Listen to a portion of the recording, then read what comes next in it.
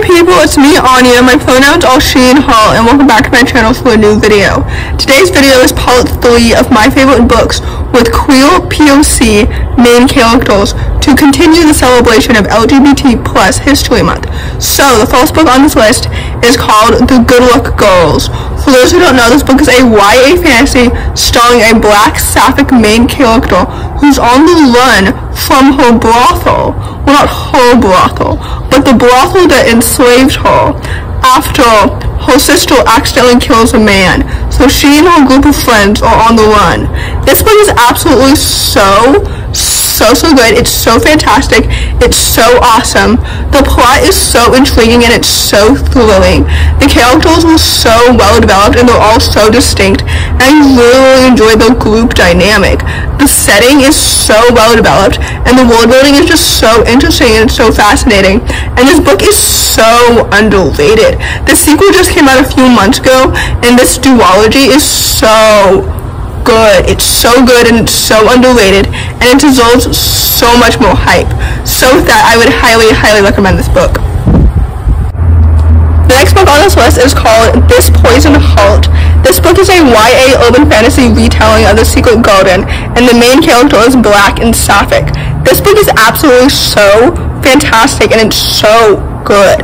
I had really low expectations for this book because I previously read Cinderella is Dead by the same author last year, and I think Cinderella is Dead is overrated.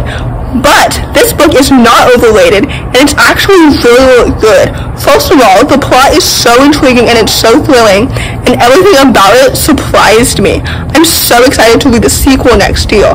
Second of all, the characters were so well developed, and they're so distinct, and I'm so emotionally attached to the main character, and as a result, I was so emotionally invested in the story itself. This book is so good. The world building was so interesting and it was so fascinating, and this book deserves so much more hype. It's so much better than Cinderella is Dead, but just overall, it's just so good and so fantastic.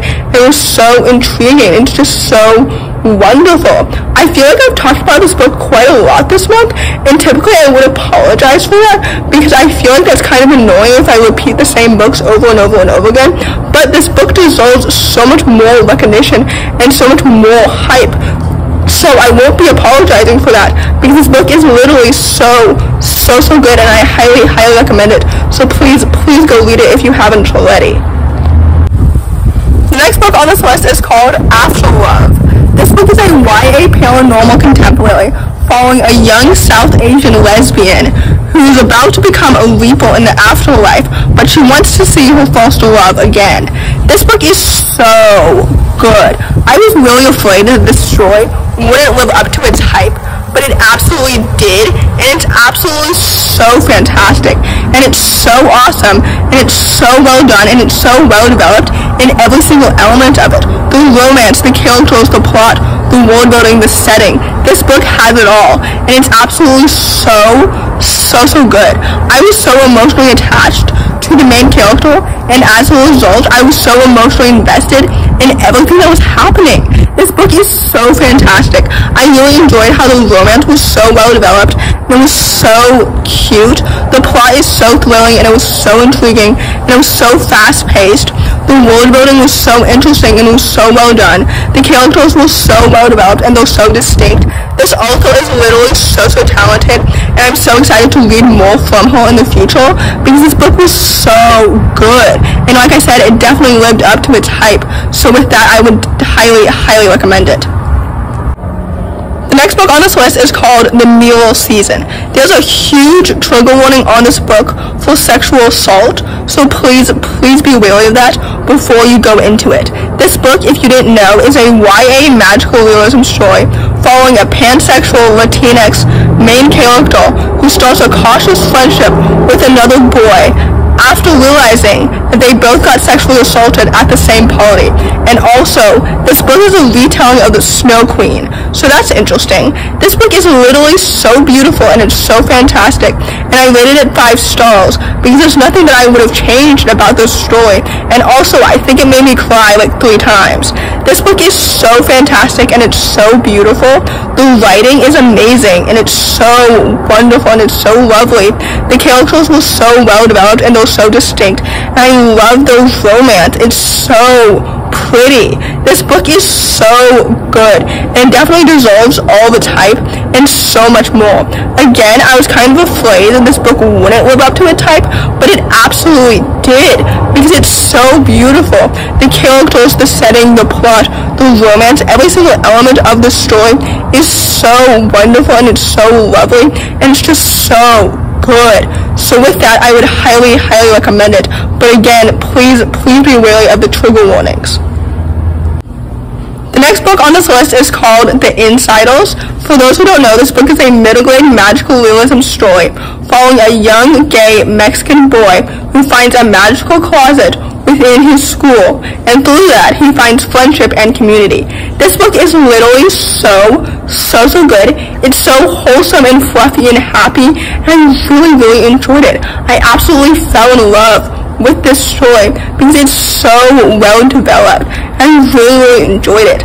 The main character is such an awesome, emotionally attachable main character, and he's so distinct.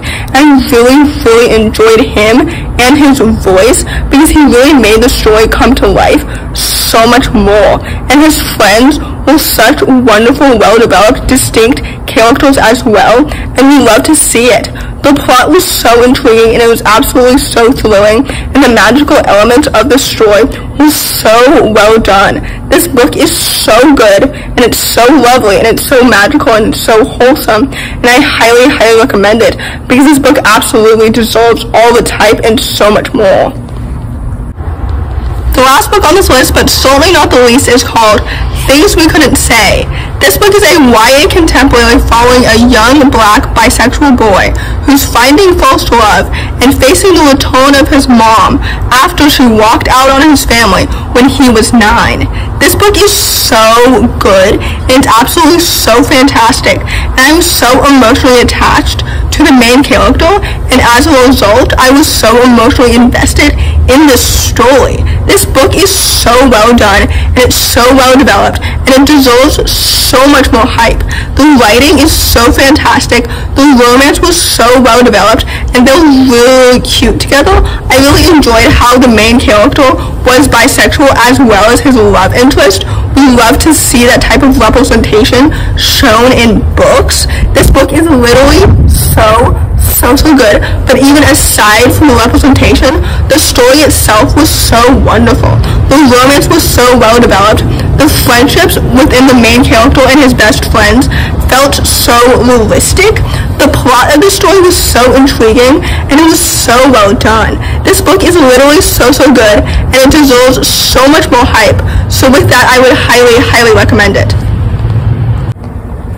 So, in conclusion, happy LGBT plus History Month. Second of all, since this video is a part 3, I will leave in the description box below parts 1 and 2 if you haven't seen them already. So, if you enjoy this video, please don't hesitate to give it a big thumbs up. Comment down below the teddy bear emoji if you made it all the way to the end of the video. Thanks for watching, subscribe to my channel if you're new, and I'll see you in my next video. Bye!